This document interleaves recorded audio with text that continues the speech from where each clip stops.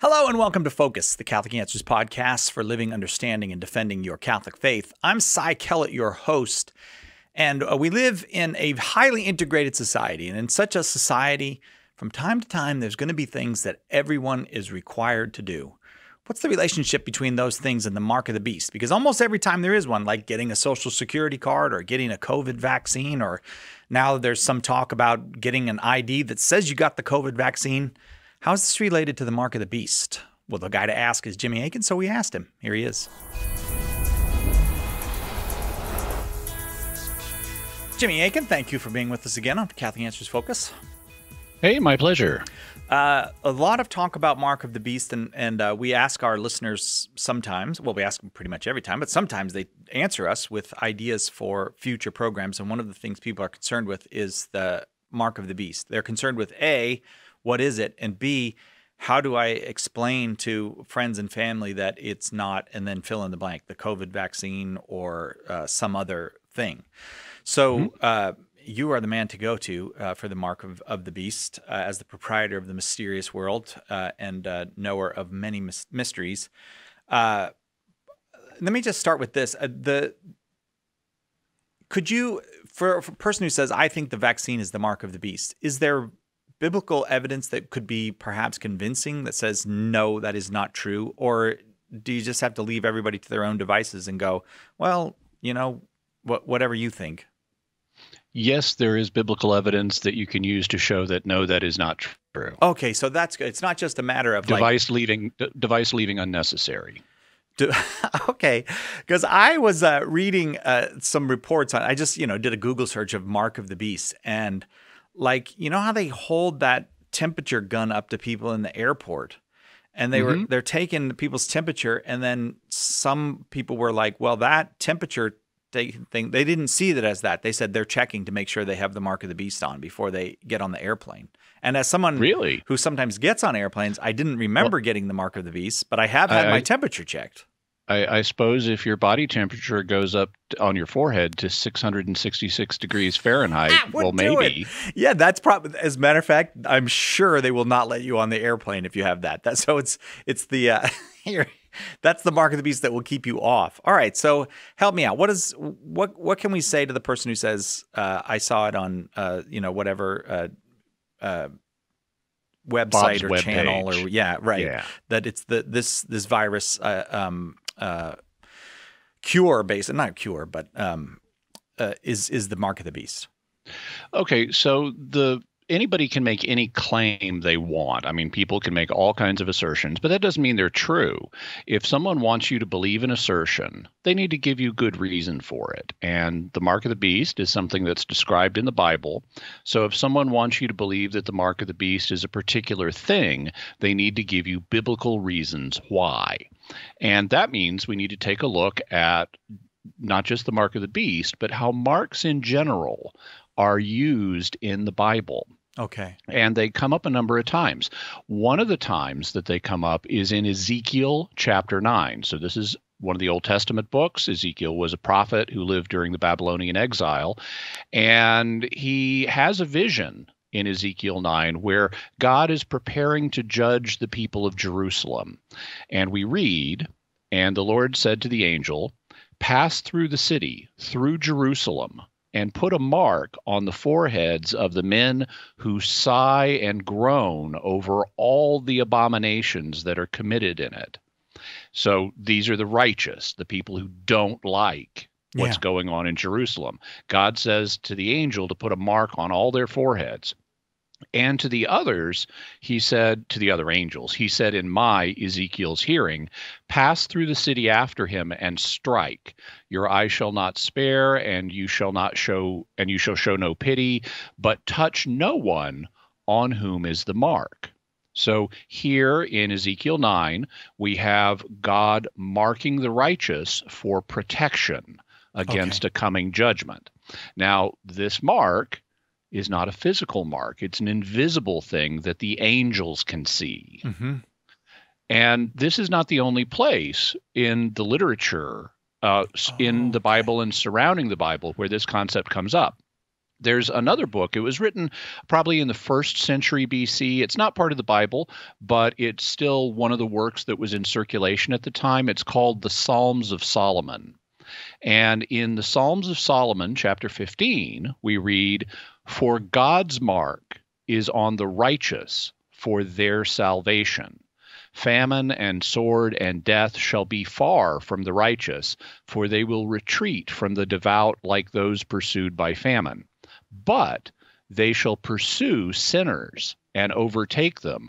For those who act lawlessly shall not escape the Lord's judgment. They shall be overtaken as by those experienced in war, for on their foreheads is the mark of destruction. Uh-huh. So here we have two groups of people. We have the righteous who are marked by God for salvation, but then we have the wicked, the sinners, who are marked for destruction on their foreheads. And so this is again one of the ideas that was in circulation. And again, notice these are not literal physical marks. No. They're invisible things that God's angels, his agents of judgment, can see. It does seem that there's a certain consolation for the righteous person here. The idea that God doesn't forget, that there's an actual mark on you. You're not if you're groaning and upset about all the injustice and abomination, you, God remembers that. Yeah. And so then, with this as background, we can look at the book of Revelation and see what it has to say about marks. Interestingly, the mark of the beast is not the first mark we read about oh. in Revelation. We read about the mark of the beast for the first time in Revelation 13, but earlier than that, in Revelation 7, we, John sees this. He says, I saw another angel descending from the rising of the sun with the seal of the living God. And a seal is what you use to make a mark. And he called with a loud voice to the four angels who had been given power to harm earth and sea, saying, Do not harm the earth or the sea or the trees till we have sealed the servants of our God upon their foreheads. And then he seals 12,000 members of each of the tribes of Israel. And many Bible scholars think that that's a symbol of the church because the very next thing that John says after the sealing takes place is after this I looked and behold a great multitude which no man could number from every nation from all tribes and peoples and tongues standing before the throne of the lamb clothed with white robes and then they praise God. And so uh, most biblical scholars look at this and say okay so this this great multitude from every nation is the church. It's the new Israel. And so, what's happening in this passage is God is preparing to judge the earth through the angels, but first, he sends an angel through to mark his servants on their forehead so they'll be spared, just like we saw in Ezekiel. Ah, uh, yeah. Okay. Then, then we keep reading, we get to Revelation 13. And in Revelation 13, John sees these two beasts. The first beast rises out of the sea, and it's based on imagery that comes from the book of Daniel, where this where the beast imagery represents pagan empires that persecute God's people. Okay. Uh, you know the Babylonian Empire, the Persian Empire, the Gre- Greco, the Greek Empire, and in a first century context, this is going to be the Roman Empire. And so he sees this great beast. It's got seven heads and ten horns. And later on, we learn the seven uh, heads are both seven mountains, like the seven hills of Rome, and they're seven kings, representing the line of first century Roman emperors who did indeed, like the beast, want to be worshiped as gods and who persecuted Christians. And then John sees a second beast, this one comes from the land, and it it does a bunch of fake miracles that get people to worship the first beast. And biblical scholars look at that and say, okay, that's the first century cult of emperor worship. You know, okay. people were literally worship, worshiping the emperor as a god. And concerning this second beast, uh, John says it causes all, both great and uh, both small and great, both rich and poor, both free and slave, to be marked on the right hand or the forehead so that no one can buy and sell unless he has the mark. That is, the name of the beast or the number of its name. This calls for wisdom, John says. let him who has understanding reckon the number of the beast, for it is a man's number. Its number is 666. And a lot of people stop reading there because that's the end of chapter 13. But the chapter breaks are artificial. Yeah. You want to keep reading. And the very next thing that John says at the beginning of chapter 14 is Then I looked, and behold, on Mount Zion stood the Lamb, and with him 144,000 who had his name and his father's name written on their foreheads. So we've got a deliberate oh, yeah. contrast between the mark of the beast and the mark of God. And that needs to inform what's going on here. Now, um, one of the things that you may note is that John tells his first century readers that they can calculate the number of the beast. Right. Okay. He doesn't say people 2,000 years from now do this. He's talking to his first century readers. He says, This calls for wisdom, but you can do this. And that suggests, just like we've been seeing this beast linked to the Roman Empire and the first century emperors, that suggests the mark of the beast was already there in the first century because you could calculate it back then. And it so happens when you look at the first century Roman emperors, one of them, Nero, has a name, Nero Caesar, that adds up to 666 in Hebrew and Aramaic. And so scholars these days look at that and they say, okay, this beast is in some way connected with Nero. And that's what John is inviting his audience to do, to calculate the fact that Nero Caesar is 666.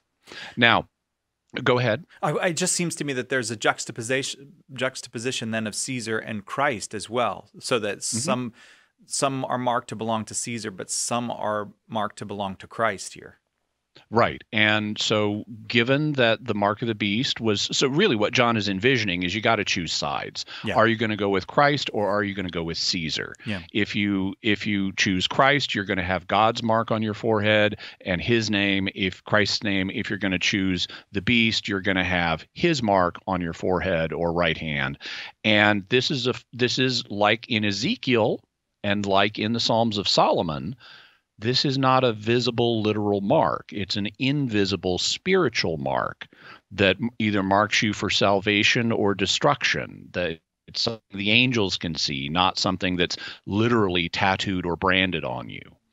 And that seems to be the original fulfillment of the mark of the beast. You were choosing, am I going to go with Christ or am I going to go with Caesar? And indeed, that had economic consequences because Christians were frequently excluded from being able to to to do their trades, to buy and sell.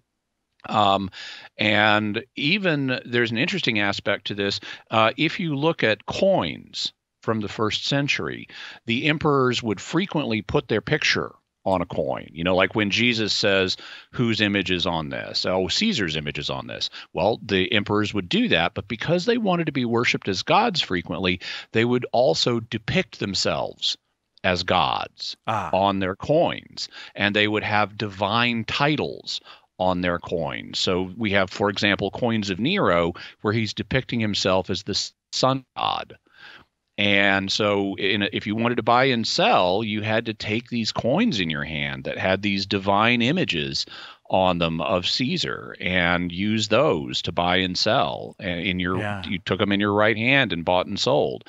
And so, uh, this is an, looks like it could be another aspect of the first century original fulfillment of the mark of the beast. So in its in, in the way John is writing the the book of Revelation then, he's primarily writing a message of kind of alert, be alert to this, this is the reality we live in and consolation to the people of his time. He's not primarily and maybe even not consciously in any way, well I'd like to know your take on that, writing to us or people of the future. Yeah. Now, one of the things you find, though, when you study biblical prophecy is that sometimes it has more than one fulfillment. It'll have an initial fulfillment in one period of history, and then it'll have a later fulfillment at a further at a point in history further down the line. And so, even though I think we've identified the first century mark of the beast, it was participating in the cult of emperor worship, that doesn't mean there won't be a future fulfillment. Um, you know, there's there are going to be bad times before the end of the world. There could easily be another world leader like Nero. Mm-hmm who wants to be worshiped as a god, and that may have economic consequences. And just like in the first century, Christians had to choose sides, Christians near the end of the world may have to choose sides. But if you want to claim a particular future thing as the ultimate of the mark of the beast, it needs to fit the biblical data. In the first yeah. place, it, it it could be exactly the same as the original mark of the beast. It could be there's a future dictator, he wants to be worshiped as a god, and that's what the mark of the beast is in the end, the, the final fulfillment of it. Yeah. You agree to worship this future dictator. Okay, well, that's not a credit card or a vaccine or a computer or an RFID chip or anything like that. Now, could some of these other things potentially be involved? Well, yeah, if they are involved in worshiping a future figure like Nero. But thus far, none of them have been. If you sign up for it, now, originally when Social Security cards were introduced, a lot of people in this country thought, "Oh man, that's got to be the mark of the beast. They're going to give everybody a number." Yeah and you need it to earn a living. So you know you got to you you got to get this card if you're going to buy and sell, and you can carry this card in your right hand or memorize your social security number and like kind of have it on your forehead. Okay, well all those things are true, but they're not relevant because none of them involved worshiping FDR as a god. I see. Also, yeah. also none of them had the number 666 the whole point of the social security system is everybody's got a different number that's how they keep track of right. what how much money people make and so it doesn't fit the biblical data in fact they don't even give people social security numbers that start 666 because they're aware that people would freak out.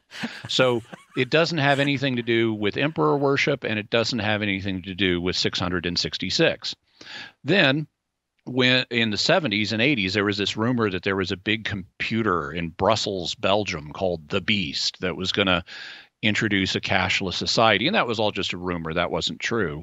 But computers unless you're worshiping one as a god it, it doesn't fulfill the mark. Yeah. All is similarly with uh, let's say the covid vaccine okay how well does that fit? Well number one you're not worshiping anybody as a god mm-hmm. if you receive a COVID vaccine. And in particular, and the COVID vaccine has nothing to do with the number 666. And it's not administered where you'd think uh, uh, where it would need to be for right. it to be a literal fulfillment. I mean, when was the last time, Kellett, that you went to the doctor's office and they took a syringe and jammed it into your hand? Yeah, no, that right. It doesn't happen. Yeah, yeah, they don't. You've got lots of blood vessels and nerves and tendons there. They don't vaccinate you in your hand. How about this? When was the last time you went to a doctor's office, Kellett, and they took a syringe and jammed it into your forehead? Not since the Botox. I have not. I, well, they they don't vaccinate people in their foreheads, right? And so these things don't correspond to the biblical data, even if you take it as some kind of literal right. physical thing. Um, and and by the way, that's not what the church fathers said it was. The church fathers understood it. Like if you read, for example, uh, Hippolytus of Rome in his book on the Antichrist, where he comments on this passage, he says that what the mark of the beast is going to involve is emperor worship, and the emperor is going to set up incense pans where you have to throw incense with your hand oh. into into the incense pan to worship the emperor and the gods, and then you get to buy and sell. Or um, he compares it to uh, pagans who would wear these wreaths on their foreheads as part of pagan worship ceremonies. And so that's how he sees it on, as being on people's foreheads as a wreath that you're wearing. Um, but it's not literally tattooed on your forehead.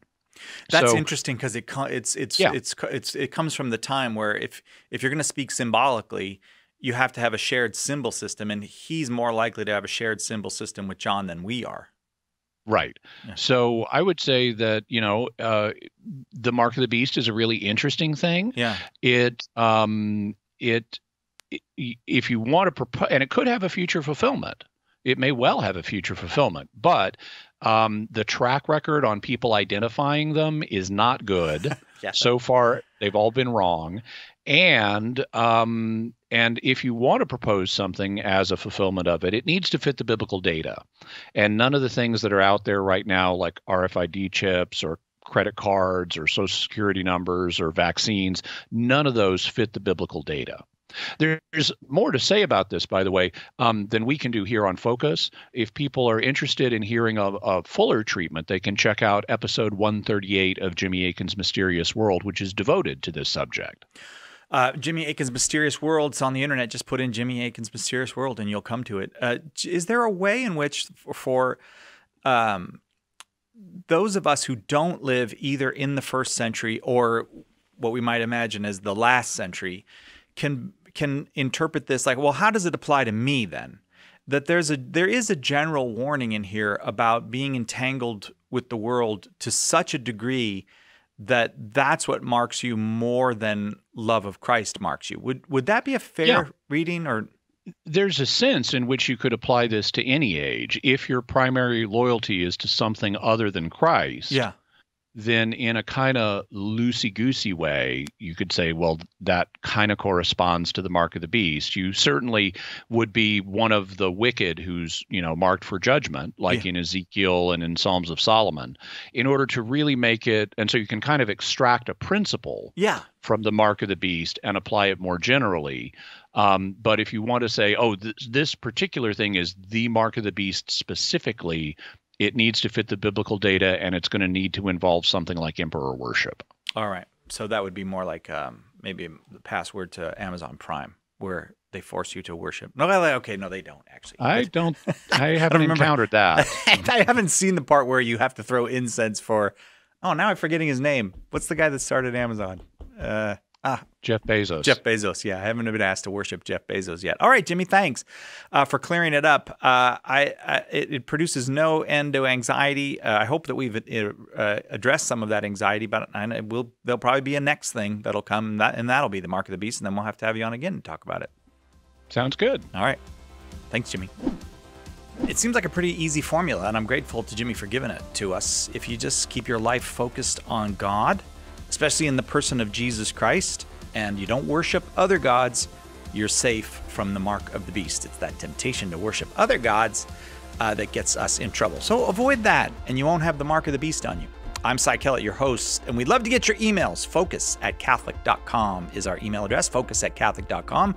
Also, don't forget that it really helps us if you like and subscribe uh, on YouTube, or if you're listening to us on Apple Podcasts, Spotify, Stitcher, if you just give us that five star review and maybe a few words about what you get out of this podcast, that'd be very helpful. To support us financially, go to givecatholic.com and make sure to let them know there that you're giving this to Catholic Answers Focus. Givecatholic.com. We do need your financial support. I'm Cy Kellett, your host. We'll see you next time. Catholic Answers Focus.